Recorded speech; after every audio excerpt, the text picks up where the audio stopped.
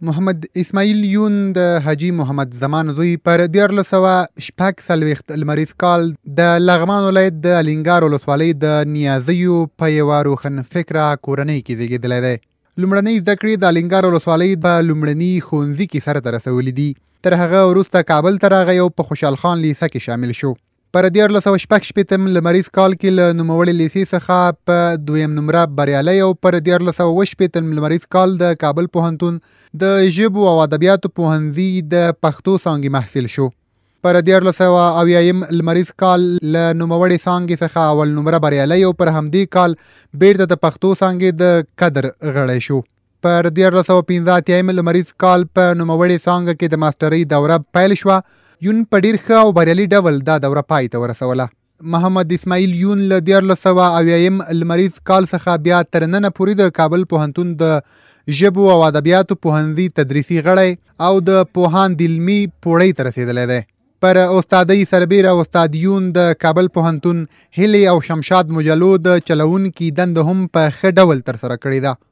په پېښور کې د چاپېدونکي معرف مجلې کتونکی غړی هم و. استاد تر اوسه په لسګونه عنوانه بېلابېل کتابونه لیکلي، ژباړلي او راټول